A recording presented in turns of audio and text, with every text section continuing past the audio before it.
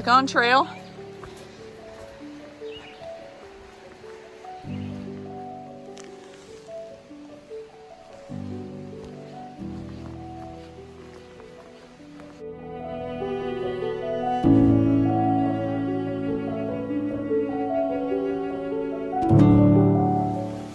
Good morning. We're about a half mile in on the day, and it's going to be a long 13 mile dry stretch. So we're going to make sure all our water bottles and filter bags are full of water to carry up there. Happy trails.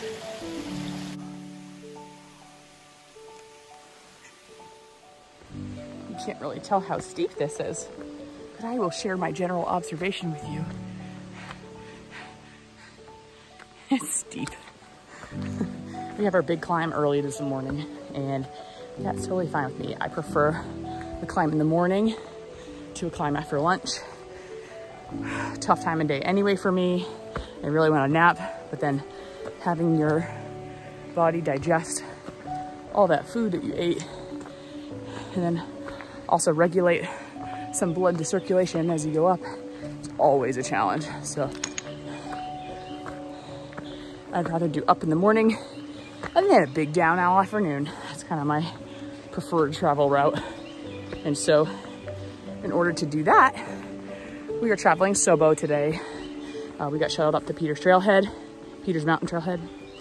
And now we're hiking Sobo back to town, to the cemetery where the car is waiting for us. So, a lot of super cool rock features the past couple days. Um, and we'll show you some cool things. Thanks for coming on our adventure.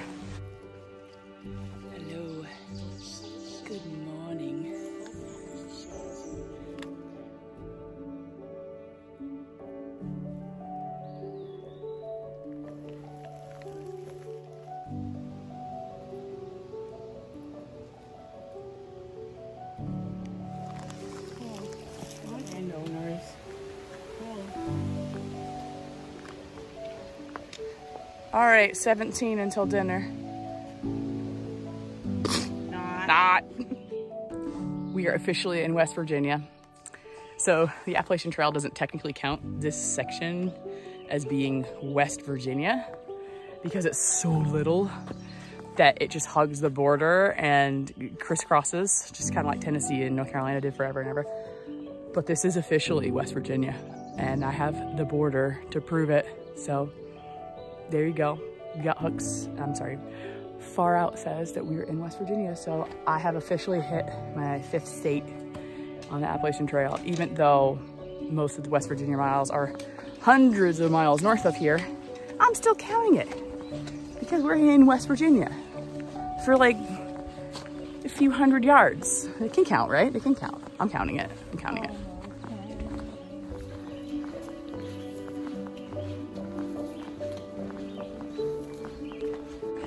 Take me home, country road, to the place I belong.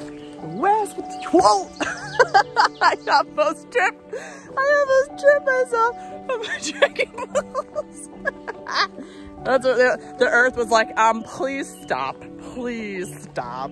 Okay, okay, I'll stop. I'll stop. All right, we did that first big climb of 1500. So we're kind of up on the ridge. Love that for us. We do have a couple more like little up bumps, but it's nice to be up high again. Did all the hard work. Now we can enjoy it.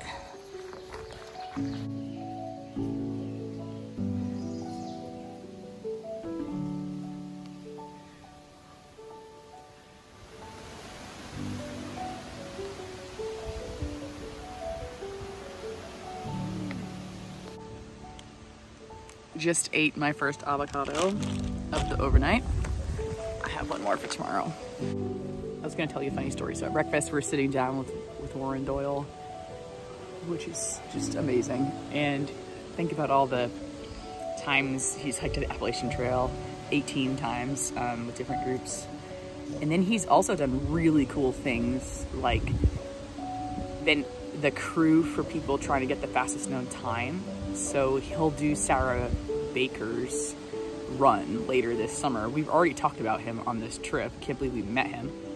Um, but, you know, his little old guy driving these two cars up today. I'm like, God, that guy looks like Warren Doyle. And he gets up and he's standing there, we're going around this circle, and everyone's introducing themselves and saying what they're grateful for. He's like, Hi, my name's Warren. And I just went, and then I whispered to the girl next to me, I said, Is that Warren Doyle? And she said, Yes. And I couldn't believe it. And then I was like, Oh, I'll get his picture right after the circle and no one else will know it's him. And then Neville, who runs the whole hostel, is like, y'all know we have someone legendary here, right? And then introduces him and tells everybody his accolades. And I was like, dang it, I'm never gonna get a picture with him now, because everybody's gonna want a picture with him. And then we're all trying to eat breakfast, so I'll be the annoying person that asks. But he was really kind to give some photographs after when I asked. So to me and a couple other people. But fun story, I asked him about Kristen Morgan. I said, you know, how was that? And he said, yeah, it's his fifth attempt. Hope he doesn't choke. And I just, just lost it laughing. Can you imagine? This is the world record holder for the southbound fastest known time. And Warren Doyle's like, hmm, hope he doesn't choke. it takes a lot to impress Warren Doyle.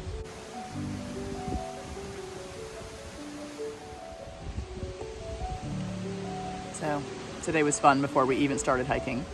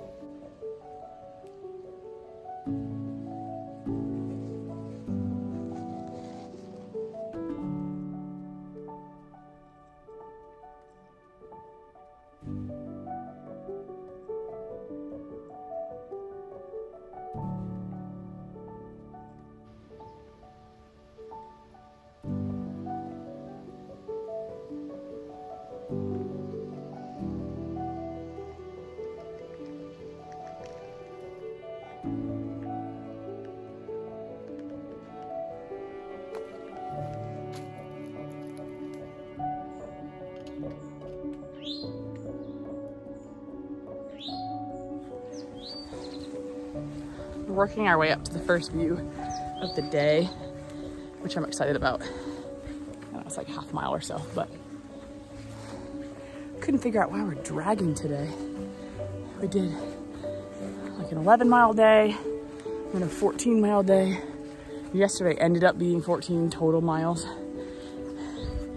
And um, today is only 12. We're dragging. And then I realized we're carrying heavy packs. And that's why, that's why we feel so kind of worn out. It's because we were slack packing those days in a really lovely manner. And now our packs are like 10, 15 pounds heavier. So that explains that. You know, 10, 15 pounds really impacts your day. My Fitbit is buzzing me right now, telling me that we have hit 21,000 steps. So, still got a ways to go, but um, it's beautiful and really looking forward to getting to the campsites because that's maybe the first actual water we see since we began. Three tents up the trail. We got water at that shelter and that's been it. It's been the whole water all day. So it's hard to ration your four liters when it's hot out and you're going uphill. I know. Now this is the view that was behind us, but we didn't know as we were plowing up this hill, so we just came down from over there. But yeah, that's beautiful. Hopefully that's not the only view. We'll see. Whew.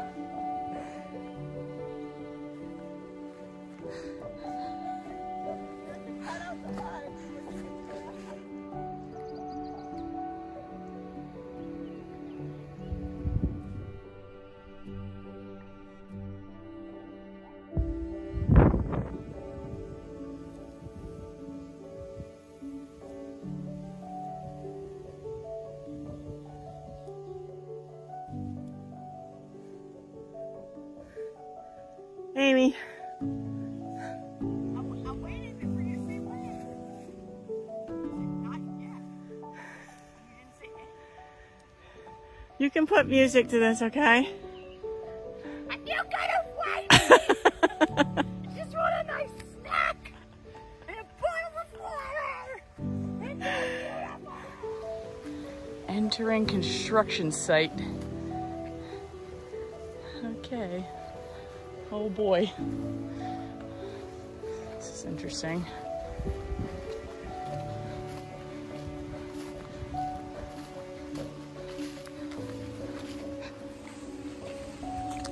Shouldn't that read road closed? Legitimately thought that was a velociraptor, like from far away. It's just a log, but like, oh, that was, that was crazy.